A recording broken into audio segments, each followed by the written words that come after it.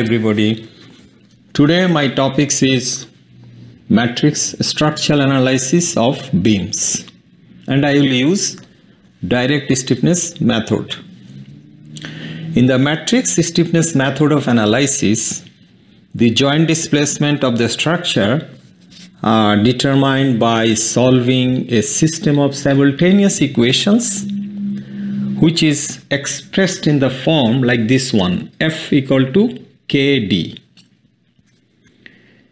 Here D denotes the joint displacement vector.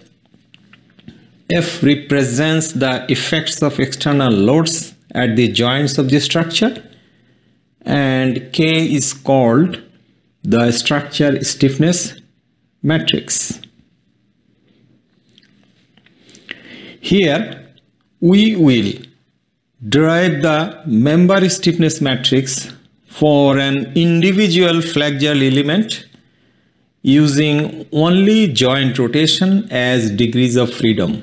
It's very simple.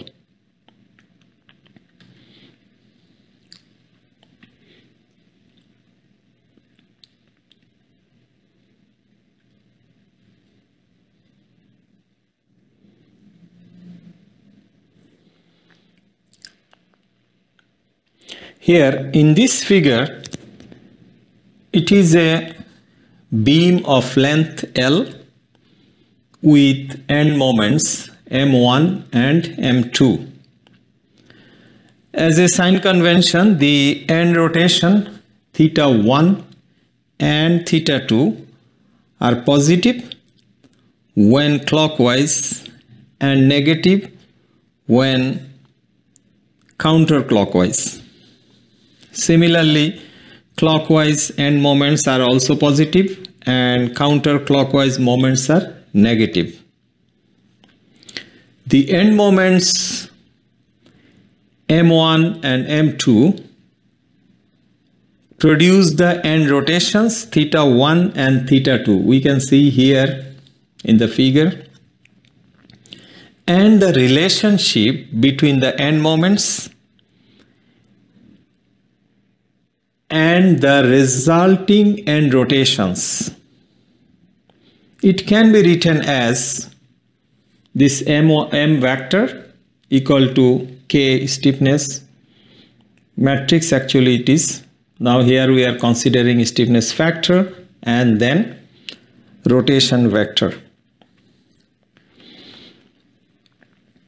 K this stiffness matrix, it is 2 by 2 member rotational stiffness matrix. And to relate end moments and rotation, we have to use here slope deflection equations. But here both psi and the fixed end moment we considered it is equal to 0 because here there is no loads. There is no loads are applied along the member axis. So we considered psi and fixed end moment equal to 0 so our equation comes as I mean the end moment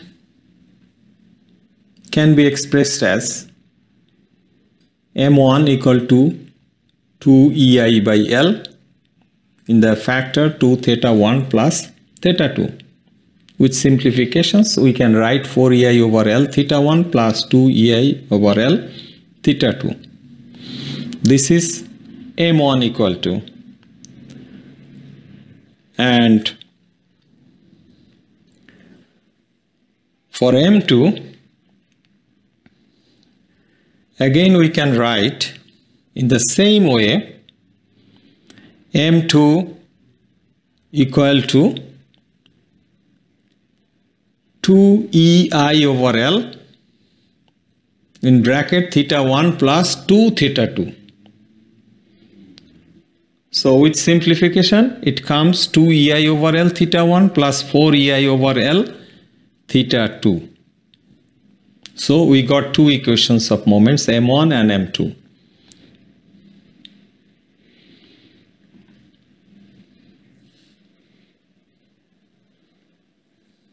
Now both the equations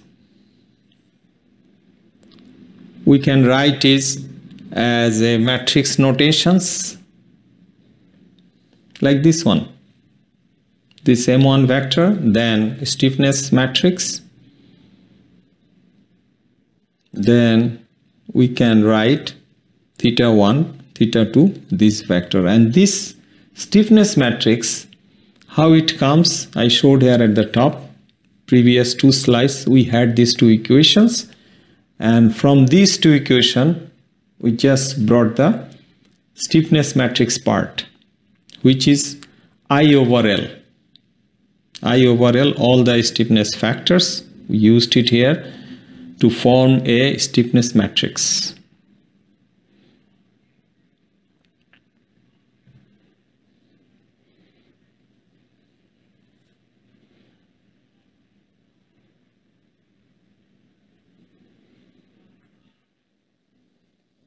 Now,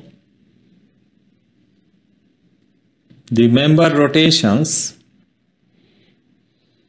stiffness matrix. What we can write here? Already we have seen the previous slides. The member rotational stiffness matrix. This k equal to this big size, I mean 4ei over L, 2ei over L, 2ei over L and then 4ei over L. So these individual parts we can write it as k11, k12, k21, k22.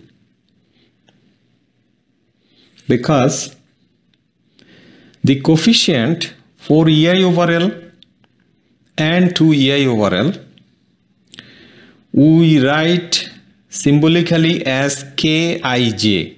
I mean i and j, some numerical values according to the positions. So where, as I told, this subscript define the row and column location of the coefficient in the stiffness matrix. Suppose the stiffness coefficient K11. It can be interpreted as the moment that must be applied at end 1 of a beam in order to produce a unit rotation theta 1 equal to 1. We can see it in the figure. While the opposite end of the beam theta 2 equal to 0. Again the coefficient k21 is the resultant moment at the end 2 of the beam. Already we saw that. Now similarly coefficient 1 2 and I mean k1 2 and k2 2 these two may be interpreted to be the resultant moment at the ends 1 and 2 of the beam respectively when theta 2 equal to 1 in the next diagram we can see theta 2 equal to 1 and theta 1 equal to 0. So it is according to the positions.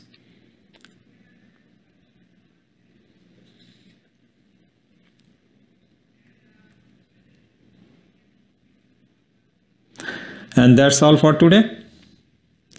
Thanks for watching. Please subscribe